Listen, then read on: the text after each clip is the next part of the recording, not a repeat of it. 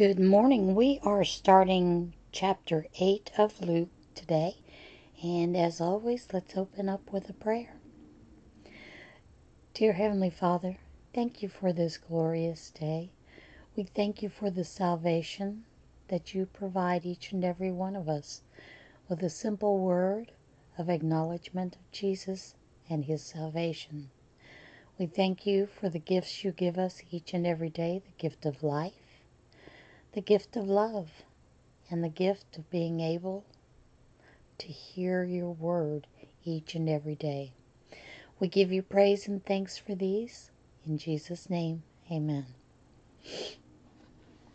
Sometimes it's good not to ask for something.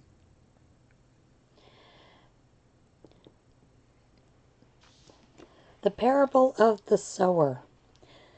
After this, Jesus traveled about from town and village to another, proclaiming the good news of the kingdom of God.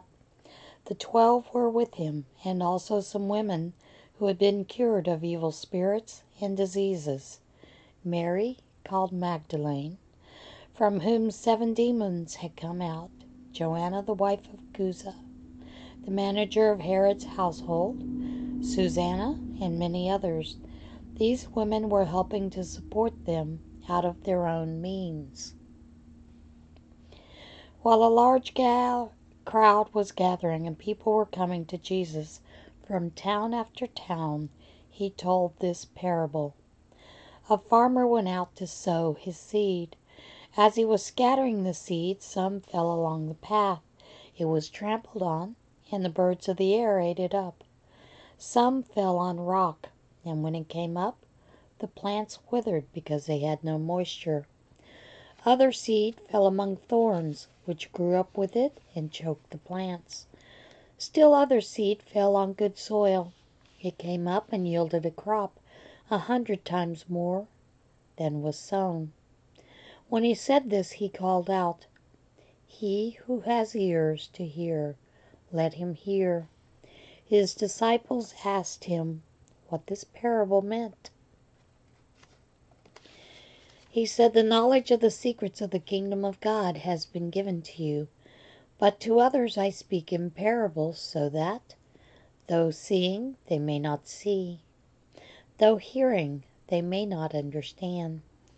This is the meaning of the parable. The seed is the word of God. Those along the path are the ones who hear, and then the devil comes and takes away the word from their hearts, so they may not believe and be saved. Those on the rock are the ones who receive the word with joy when they hear it, but they have no root. They believe for a while, but in the time of testing they fall away. The seed that fell among the thorns stands for those who hear, but as they go on their way, they are choked by life's worries, riches, and pleasures, and they do not mature. But the seed on good soil stands for those with a noble and good heart, heart who hear the word, retain it, and by persevering produce a crop. A lamp on a stand. No one lights a lamp and hides it in a jar or puts it under a bed. Instead, he puts it on a stand so that those who come in can see the light. For there is nothing hidden that will not be disclosed, and nothing concealed that will not be known or brought out into the open. Therefore, consider carefully how you listen. Whoever has will be given more Whoever does not have, even though he thinks he has, will be taken from him. Jesus' mother and brothers. Now Jesus' mother and brothers came to see him, but they were not able to get near him because of the crowd. Someone told him, Your mother and brothers are standing outside, waiting to see you. He replied, My mother and brothers are those who hear God's word and put it into practice. Jesus calms the storm. One day Jesus said to his disciples, Let's go over to the other side of the lake. So they got into a boat and set out, and as they sailed, he fell asleep. A squall came down on the lake, so that the boat was being swamped, and they were in great danger. The disciples went and woke him, saying, Master, Master, we're going to drown. He got up and rebuked the wind and the raging waters. The storm subsided and all was calm. Where is your faith? he asked his disciples. In fear and amazement they asked one another, Who is this? He commands even the winds, the water, and they obey him.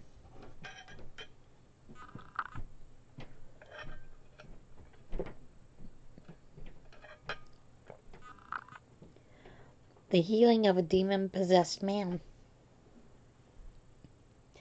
They sailed to the region of the Gerasenes, which was across the lake from Galilee. When Jesus stepped ashore, he was met by a demon possessed man from the town.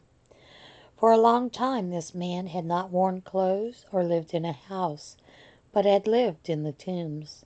When he saw Jesus, he cried out and fell at his feet, shouting at the top of his voice, What do you want with me, Jesus, Son of the Most High God? I beg you, don't torture me. For Jesus had commanded the evil spirit to come out of the man.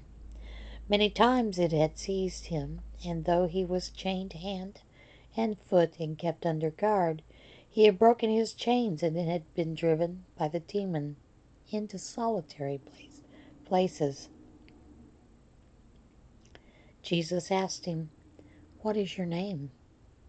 Legion, he replied, because many demons had gone into him, and they begged him repeatedly not to order them to go into the abyss. A large herd of pigs was feeding there on the hillside.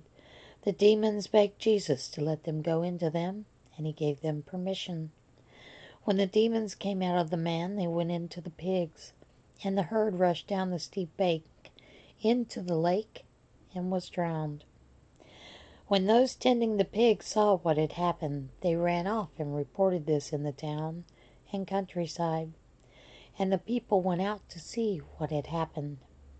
When they came to Jesus, they found the man from whom the demons had gone out, sitting at Jesus' feet, dressed and in his right man, mind, and they were afraid. Those who had seen it told the people how the demon possessed man had been cured. Then all the people of the region of the Gerasenes asked Jesus to leave them, because they were overcome with fear. So he got into the boat and left. The man from whom the demons had gone out begged to go with him, but Jesus sent him away, sent him away, saying, Return home and tell how much God has done for you. So the man went away and told all over town how much Jesus had done for him. A dead girl and a sick woman. Now when Jesus returned, a crowd welcomed him, for they were all expecting him. Then a man named Jairus, a leader of the synagogue, came and fell at Jesus' feet, pleading with him to come to his house because his only daughter, a girl of about twelve, was dying. As Jesus was on his way, the crowds almost crushed him, and a woman was there who had been subject to bleeding for twelve years, but no one could heal her. She came up behind him and touched the edge of his cloak and immediately her bleeding stopped. Who touched me? Jesus asked. When they all denied it, Peter said, Master, the people are crowding and pressing against you. But Jesus said, Someone touched me. I know that power has gone out from me. Then the woman, seeing that she could not go unnoticed, came trembling and fell at his feet. In the presence of all the people, she told why she had touched him, and how she had been instantly healed. Then he said to her, Daughter, your faith has healed you. Go in peace. While Jesus was still speaking, someone came from the house of Jairus, the synagogue ruler. Your daughter is dead, he said. Don't bother the teacher any more. Hearing this, Jesus said to Jairus, Don't be afraid, just believe, and she will be healed. When he arrived at the house of Jairus, he did not let anyone go in with him except Peter, John, and James, and the child's father and mother. Meanwhile, all the people were wailing and mourning for her. Stop wailing, Jesus said. She is not dead, but asleep. They laughed at him, knowing that she was dead. But he took her by the hand and said, My child, get up. Her spirit returned, and at once she stood up. Then Jesus told them to give her something to eat. Her parents were astonished, but he ordered them not to tell anyone what had happened. Jesus sends out the twelve. When Jesus had called the twelve together, he gave them power and authority to drive out all demons and to cure diseases. And he sent them out to preach the kingdom of God and to heal the sick. He told them, Take nothing for the journey no staff, no bag, no bread, no money, no extra tunic. Whatever house you enter, stay there until you leave that town. If people do not welcome you, Shake the dust off your feet when you leave their town, as a testimony against them. So they set out and went from village to village, preaching the gospel and healing people everywhere. Now Herod the Tetrarch heard all about what all heard about all that was going on. I don't know why that was such a hard sentence to get out. And he was perplexed, because some were saying that John had been raised from the dead, others that Elijah had appeared, and still others that one of the prophets of long ago had come back to life. But Herod said, I beheaded John. Who, then, is this I hear such things about? And he tried to see him. Jesus feeds the five thousand. When the apostles returned, they reported to Jesus what they had done. Then they took them with him, and they withdrew by themselves to a town called Bethsaida. But the crowds learned about it and followed him. He welcomed them and spoke to them about the kingdom of God and healed those who needed healing. Late in the afternoon, the twelve came to him and said, Send the crowd away so they can go into the surrounding villages and countryside and find food and lodging, because we are in a remote place here. He replied, You give them something to eat. They answered, We have only five loaves of bread and two fish, unless we go and buy food for all this crowd. About five thousand men were there. But he said to his disciples, have them sit down in groups of about fifty each. The disciples did so, and everybody sat down. Taking the five loaves and the two fish, and looking up to heaven, he gave thanks and broke them. Then he gave them to the disciples to set before the people. They all ate and were satisfied, and the disciples picked up twelve basketfuls of broken pieces that were left over. Peter's confession of Christ. Once, when Jesus was pri- praying in private and his disciples were with him, he asked them, Who do the crowd say I am? They replied, Some say John the Baptist, others say Elijah, and still others that one of the prophets of long ago has come back to life. But what about you? he asked. Who do you say I am? Peter answered, The Christ of God. Jesus strictly warned them not to tell this to anyone, and he said, The Son of Man must suffer many things and be rejected by the elders, chief priests, and teachers of the law, and he must be killed, and on the third day be raised to life. Then he said to them all, If anyone would come after me, he must deny himself and take up his cross daily and follow me. For whoever wants to save his life will lose it, but whoever loses his life for me will save it. What good is it for a man to gain the whole world and yet lose or forfeit his very self? If anyone is ashamed of me and my words, the Son of Man will be ashamed of him when he comes in his glory, and in the glory of the Father and of the holy angels. I tell you the truth, some who are standing here will not taste death before they see the kingdom of God. The Transfiguration.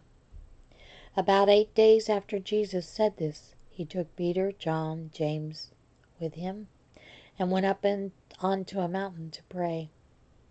As he was praying, the appearance of his face changed, and his clothes became bright as a flash of lightning. Two men, Moses and Elijah, appeared in glorious splendor, talking with Jesus. They spoke about his departure, which he was about to bring to fulfillment in Jerusalem. Peter and his companions were very sleepy, but when they became fully awake, they saw his glory and the two men standing with him. As the men were leaving Jesus, Peter said to him, Master, it is good for us to be here. Let us put up three shelters one for you, one for Moses, and one for Elijah. He did not know what he was saying. While he was speaking, a cloud appeared and enveloped them, and they were afraid as they entered the cloud. A voice came from the cloud saying, This is my Son, whom I have chosen. Listen to him. When the voice had spoken, they found that Jesus was alone. The disciples kept this to themselves and told no one at that time what they had seen. The healing of a boy with an evil spirit. The next day, when they came down from the mountain, a large crowd met them. A man in the crowd called out, Teacher, I beg you to look at my son, for he is my only child. A spirit seizes him, and he suddenly screams. It throws him into convulsions so that he foams at the mouth. It scarcely ever leaves him and is destroying him. I beg your disciples to drive it out but they could not. O unbelieving and perverse generation, Jesus replied, how long shall I stay with you and be put up with you? Bring your son here. Even while the boy was coming, the demon threw him to the ground in a convulsion. But Jesus rebuked the evil spirit, healed the boy, and gave him back to his father. And they were all amazed at the greatness of God. While everyone was marveling at all Jesus did, he said to his disciples, Listen carefully to what I am about to tell you. The Son of Man is going to be betrayed into the hands of men. But they did not understand what this meant. It was hidden from them, so that they did not grasp it, and they were afraid to ask him about it. Who will be the greatest? An argument started among the disciples as to which of them would be the greatest. Jesus, knowing their thoughts, took a little child and had him stand beside him. Then he said to them, Whoever welcomes this little child in my name welcomes me, and whoever welcomes me welcomes the one who sent me, for he who is least among you all, he is the greatest. Master, said John, we saw a man driving out demons in your name, and we tried to stop him because he is not one of us. Do not stop him, Jesus said, for whoever is not against you is for you. Samaritan, opposition. As the time approached for him to be taken up to heaven, Jesus resolutely set out for Jerusalem, and he sent messengers on ahead who went into to a Samaritan village to get things ready for him. But the people there did not welcome him because he was heading for Jerusalem. When the di- disciples James and John saw this, they asked, Lord, Do you want us to call fire down from heaven to destroy them? But Jesus turned and rebuked them, and they went to another village. The cost of following Jesus. As they were walking along the road, a man said to him, I will follow you wherever you go. Jesus replied, Foxes have holes, and birds of the air have nests, but the Son of Man has no place to lay his head. He said to another man, Follow me. But the man replied, Lord, first let me go and bury my father. Jesus said to him, Let the dead bury their own dead, but you go and proclaim the kingdom of God. Still another said, I will follow you, Lord, but first let me go back and say goodbye to my family. Jesus replied, No one who puts his hand to the plow and looks back is fit for the service of the kingdom of God. Jesus sends out 72. After this, the Lord appointed 72 others and sent them two by two ahead of him to every town and place where he was about to go. He said to them, The harvest is plentiful, but the workers are few. Ask the Lord of the harvest, therefore, to send out workers into his harvest field. Go, I am sending you out like lambs among wolves. Do not take a purse or a bag or sandals, and do not greet anyone on the road. When you enter a house, first say, Peace to this house. If a man of peace is there, your peace will rest on him. If not, it will return to you. Stay in that house, eating and drinking whatever they give you, for the worker deserves his wages. Do not move around from house to house. When you enter a town and are welcomed, eat what is set before you.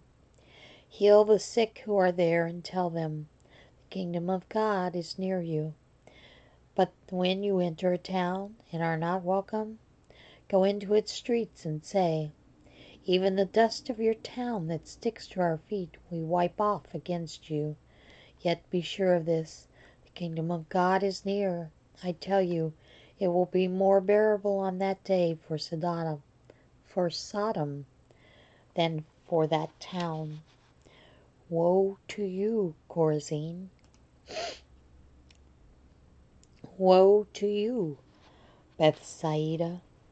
For if the miracles that were performed in you had been performed in Tyre and Sidon, they would have repeated, repented long ago, sitting in sackcloth and ashes.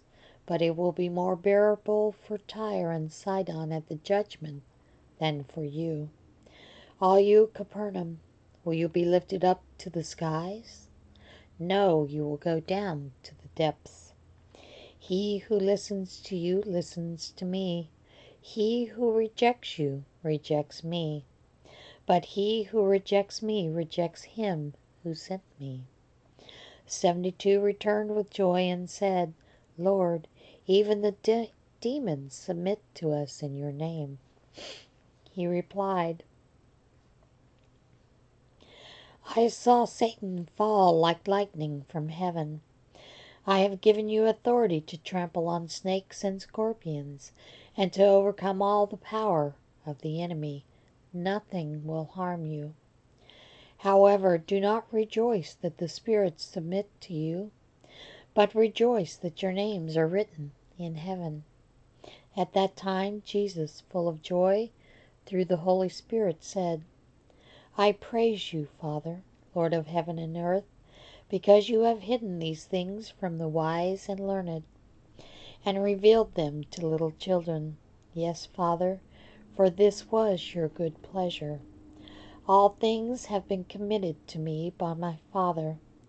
No one knows who the Son is except the Father, and no one knows who the Father is except the Son, and to and those to whom the Son chooses to reveal him.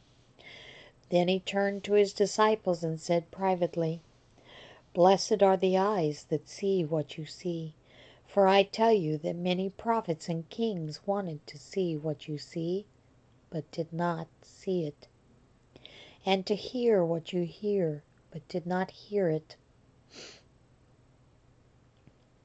The parable of the Good Samaritan. On one occasion, an expert in the law stood up to test Jesus.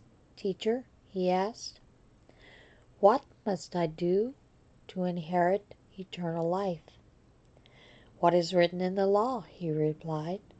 How do you read it? He answered, Love the Lord your God with all your heart, and with all your soul, and with all your strength, and with all your mind, and love your neighbor as yourself. You have answered correctly, Jesus replied. Do this, and you will live.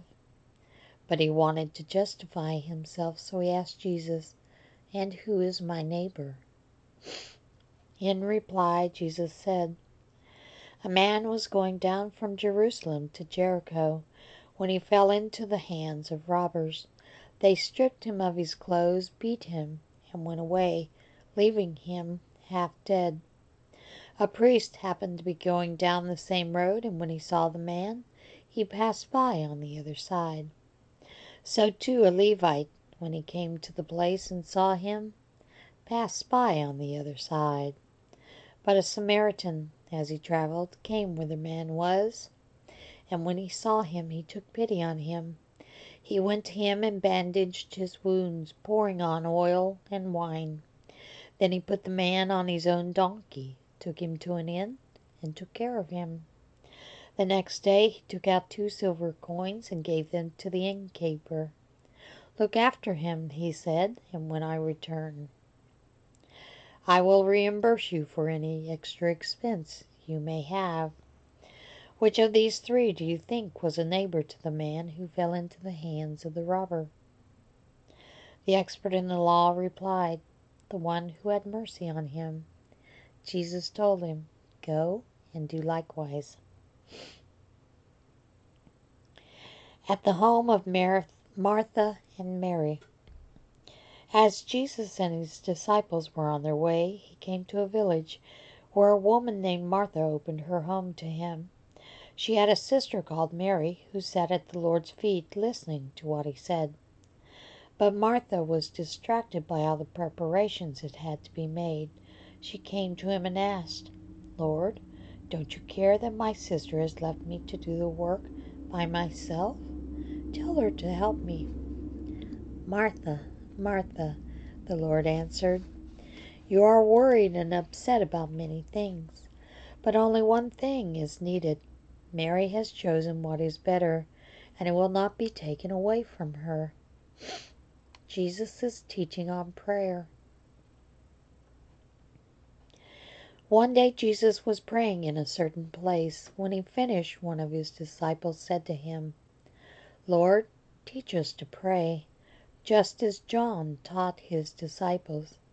He said to them, When you pray, say, Father, hallowed be thy name, your kingdom come. Give us each day our daily bread. Forgive us our sins, for we also forgive everyone who sins against us. And lead us not into temptation. Then he said to them, Suppose one of you has a friend, and he goes to him at midnight and says, Friend, lend me three loaves of bread, because a friend of mine on a journey has come to me and I have nothing to set before him. Then the one inside answers, Don't bother me. The door is already locked and my children are with me in bed. I can't get up and give you anything. I tell you, though, though he will not get up and give him the bread because he is his friend. Yet because of the man's boldness, he will get up and give him as much as he needs. So I say to you, ask and it will be given to you. Seek and you will find. Knock and the door will be opened to you. For everyone who asks receives, he who seeks finds, and to him who knocks the door will be opened. Which of you fathers, if your son asks for a fish, will give him a snake instead? Or if he asks for an egg, will give him a scorpion? If you then, though you are evil, know how to give good gifts to your children, how much more will your Father in heaven give the Holy Spirit to those who ask him? Jesus was driving out a demon that was mute. When the demon left the man, I think I skipped a page.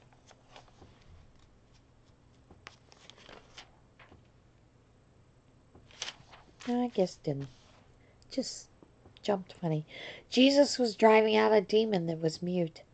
When the demon left the man who had been mute, spoke, and the crowd was amazed. But some of them said, By Beelzebub, the prince of demons, he is driving out demons.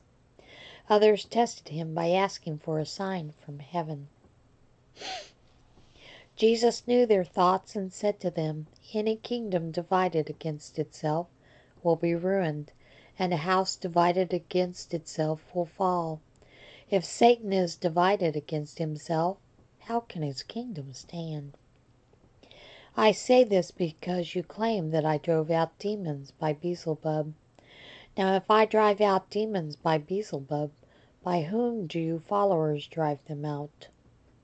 So then they will be your judges. But if I drive out demons by the finger of God, then the kingdom of God has come to you. When a strong man, fully armed, guards his own house, his possessions are safe. But when someone stronger attacks and overpowers him, he takes away the armor in which the man trusted and divides up the spoils. He who is not with me is against me, and he who does not gather with me scatters. When an evil spirit comes out of a man, it goes through arid places, seeking rest, and does not find it. Then it says, I will return to the house I left. When it arrives, it finds the house swept clean and put in order. Then it goes in and takes seven other spirits, more wicked than itself, and they go in and live there. And the final condition of that man is worse than the first. As Jesus was saying these things, a woman in the crowd cried out, Blessed is the mother who gave you birth and nursed you. He replied, Blessed rather are those who hear the word of God and obey it. The sign of Jonah. As the crowds increased, Jesus said, This is a wicked generation. It asks for a miraculous sign, but none will be given it except the sign of Jonah. For as Jonah was a sign to the Ninevites, so also will be the Son of Man to this generation. The queen of the south will rise at the judgment with the men of this generation and condemn them. For she came from the ends of the earth to listen to Solomon's wisdom. And now one greater than Solomon is here.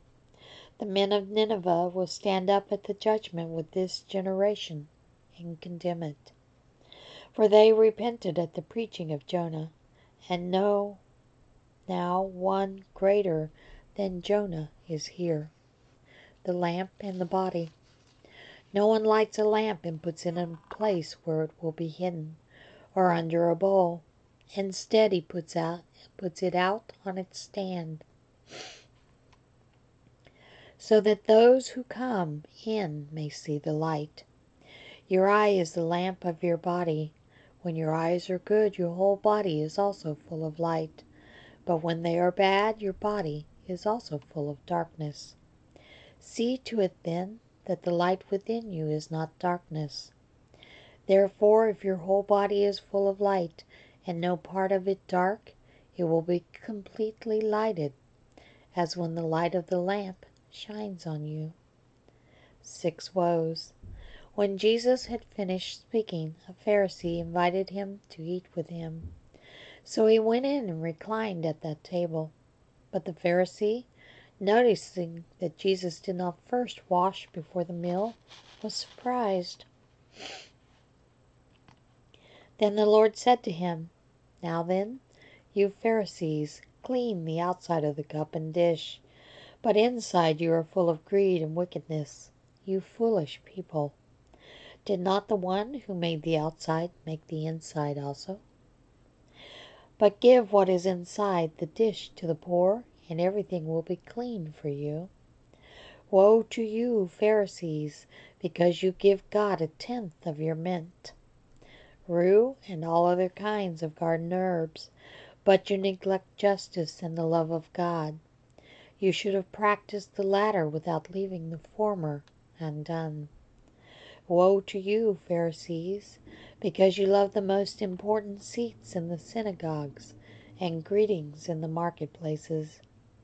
Woe to you, because you are like unmarked graves, which men walk over without knowing it. One of the experts in the law answered him, Teacher, when you say these things, you insult us also. Jesus replied, And you experts in the law, woe to you, because you load people down with burdens they can hardly carry, and you yourselves will not lift one finger to help them. Woe to you, because you built tombs for the prophets, and it was your forefathers who killed them. So you testify that you approve of what your forefathers did. They killed the prophets, and you build their tombs. Because of this, God in His wisdom said, I will send them prophets and apostles, some of whom they will kill, and others they will persecute. Therefore, this generation will be held responsible for the blood of all the prophets that has been shed since the beginning of the world, from the blood of Abel to the blood of Zachariah, who was killed between the altar and the sanctuary. Yes, I tell you, this generation will be held responsible for it all. Woe to you, experts in the law, because you have taken away the key to knowledge. You yourselves have not entered, and you have hindered those who were entering. When Jesus left there, the Pharisees and the teachers of the law began to oppose him fiercely and to besiege him with questions, waiting to catch him in something he might say. And we are going to stop there today, and we will pick up again tomorrow. Everybody have a great day, and I will see you again tomorrow.